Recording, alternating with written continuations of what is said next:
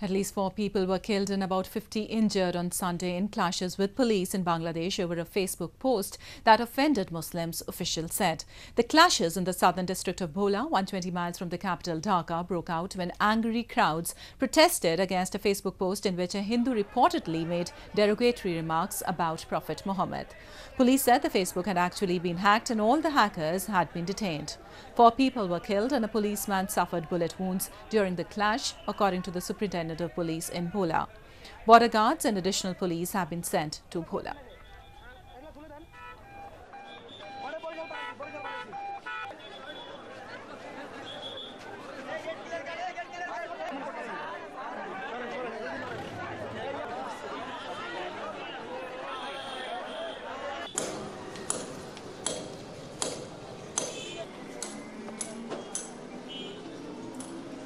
আমি সেটাই বলছি যে আমরা ইনকোয়ারি করব। সবই মারা হয়েছে। এখানে এখানে গ্যাসও মারা হয়েছে, আমি যেটা জেনেছি, গ্যাসও মারা হয়েছে শটগানও মারা হয়েছে, সবই মারা হয়েছে।